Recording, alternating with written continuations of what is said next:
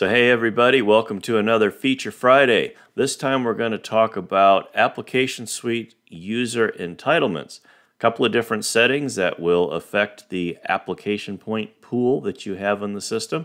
So, let's take a look at some of the ins and outs of how you set things up. Okay, so here we go. We are going to log in as MAS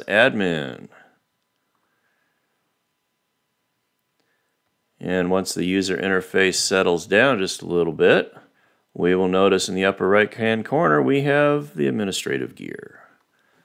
Click that. We are going to go directly to the user's tile. And I'm going to go directly over here on the right hand side to create a user. Not going to pay any attention to the identity, but I'm going to go right down here into section 2, entitlement. Notice that the default is concurrent.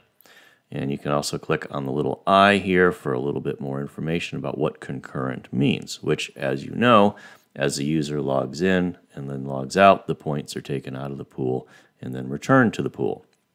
So the default being concurrent, from an application entitlement standpoint, here are your choices.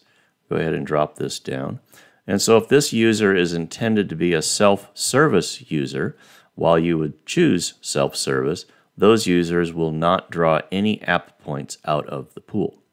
And you can see all the way down the list you have 5 and 10 and 15 points that the user will pull out of the pool depending on the entitlement that they have. If you want to know what those entitlements are, you're able to click this link right here and you can see what the self-service user has access to, the limited, the base, and then the premium. I'll leave that up there just a moment for you to look at. Notice the premium, which has the highest cost of app points, has access to the most number of components within Application Suite. If you switch the user to authorized, or named is another way of calling it, when you switch it to authorized, their application entitlement also changes. These users Still, self-service will be zero, but the other levels of entitlement will take out fewer app points for an authorized user. However, let's put this back to concurrent.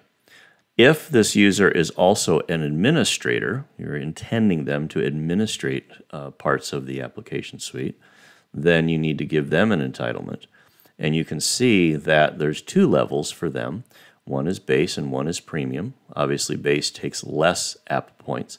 But the important point here is that the app points for an administrative user are reserved.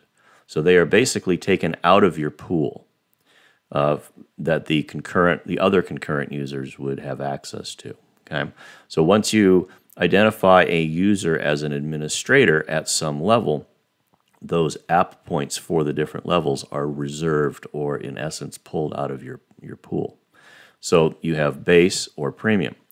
Notice I'm going to go over here to uh, authorized, make this user authorized now. And if this user is also going to be an administrator, then you um, would choose their entitlement here, but you'll notice that it doesn't change.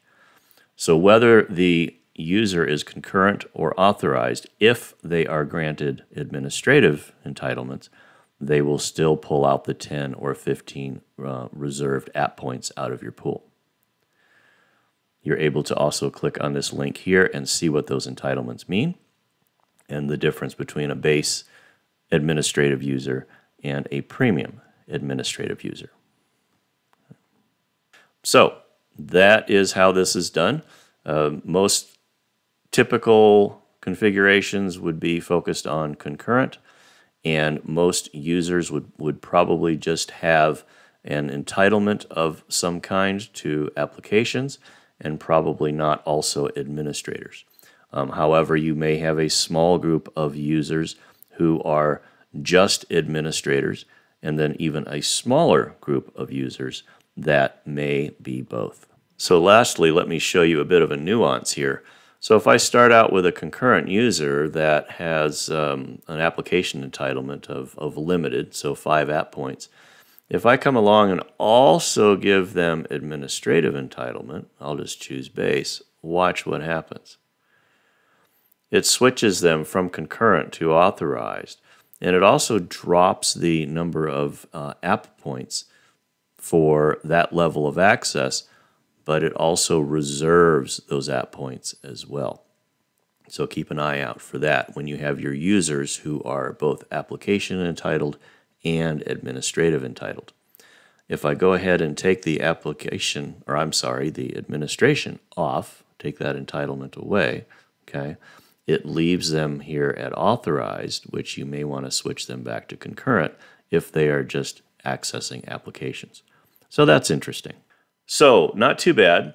But you can see that as you add administrator level users to the application suite system, they reserve app points out of your pool. So you need to uh, learn how to account for them as you uh, perhaps have more than just a few administrative users. Hope that was helpful. If not, uh, leave some comments. Uh, certainly like and subscribe. We like that. And uh, we'll see you next Friday.